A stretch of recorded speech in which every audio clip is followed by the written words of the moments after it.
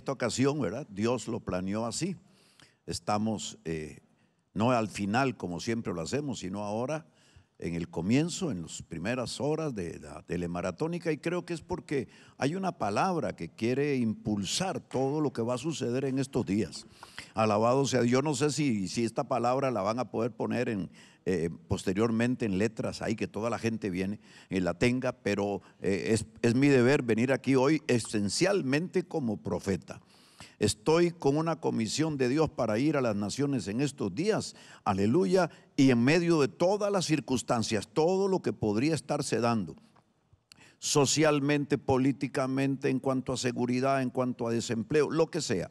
El Señor tiene una palabra para nuestro país, Costa Rica, para las naciones de Sudamérica, Centroamérica, Norteamérica y el mundo, y es que una grande lluvia viene una grande lluvia viene y esto es lo que vamos a soltar en estos minutos. Aleluya, que es lo que va a marcar nuestros movimientos en los próximos días, porque Dios no está sino enfocado en bendecirnos. La bendición de Dios se nos ha de venir, así estemos pasando situaciones difíciles o las hayamos pasado. Hay un momento en los tiempos del Espíritu Santo, en los tiempos de Dios, en donde Él suelta su cronómetro, aleluya como, como que si pusiéramos el dedo sobre un cronómetro y se activan los tiempos Cairo del Espíritu Santo. Y eso lo que va a traernos es una sobreabundante bendición para los que reaccionemos, para los que entendamos lo que significa el tiempo de Dios. Y esto es lo importante. Y por eso yo quiero leerte como base para estos minutos en los que estaré aquí con ustedes.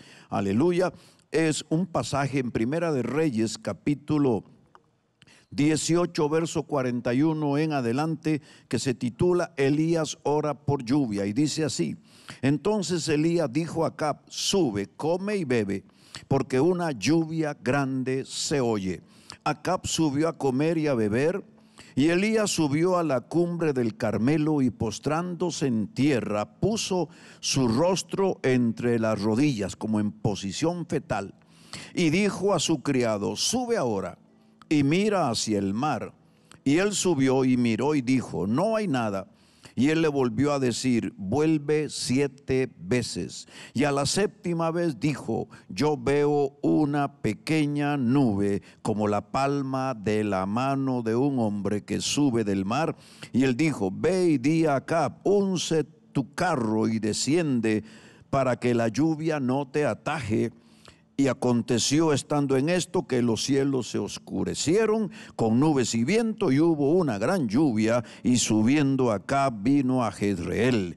Y la mano de Jehová estuvo sobre Elías, el cual ciñó sus lomos y corrió delante de Acab hasta llegar a Jezreel dos o tres cosas para que empecemos a tener música y a fluir y ir a los teléfonos inmediatamente toda la información que va a aparecer frente a tu pantalla o frente a tu iPad o tu computadora o tu teléfono, vas a utilizarla para llamar de todas partes o escribirnos y hacer tu pacto con el Señor. Pero tres cosas esenciales tengo que decirte.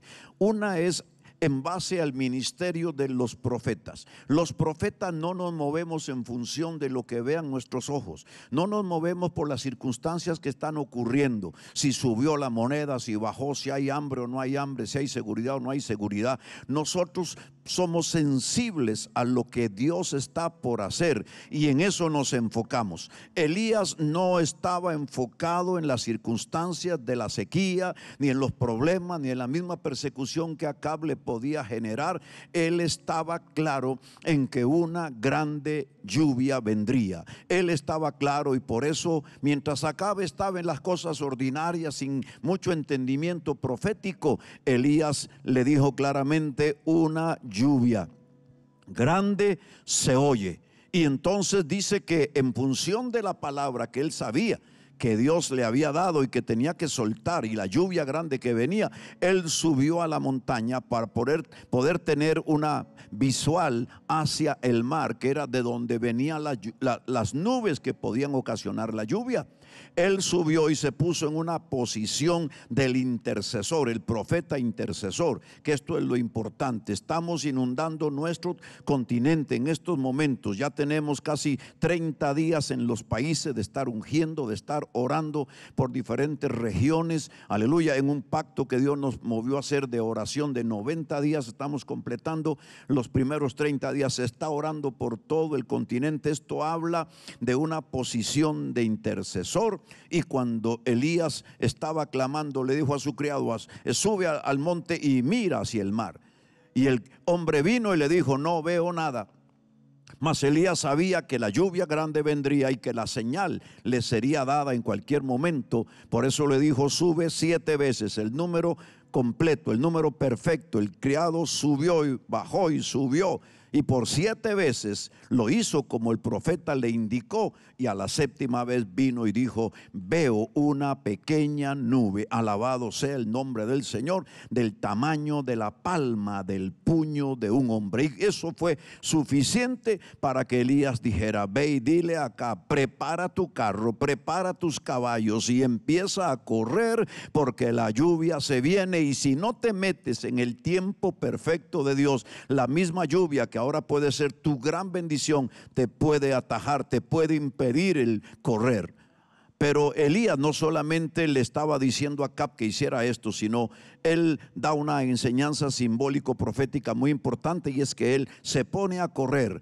Él va junto al carro de Acab, él está como diciendo, tienes que meterte en el fluir profético para que entonces corriendo en ese fluir profético la lluvia descienda y te bendiga. Es mi deber, queridas naciones, es mi deber Costa Rica, mi deber inclusive Ecuador en momentos difíciles, es mi deber Guatemala en tiempos de elecciones, Argentina y naciones de América y aún de Europa. Es mi deber decirte que aunque la pandemia y la pospandemia nos ha traído una cantidad de circunstancias adversas, difíciles, Dios dice, una grande lluvia viene. El avivamiento está a las puertas y eso significa que tenemos que hacer lo que tenemos que hacer tenemos que correr con lo que Dios nos diga proféticamente para que entonces cuando la lluvia venga esto no sea un impedimento para nosotros haber corrido en el fluir de Dios y tener la bendición del Señor.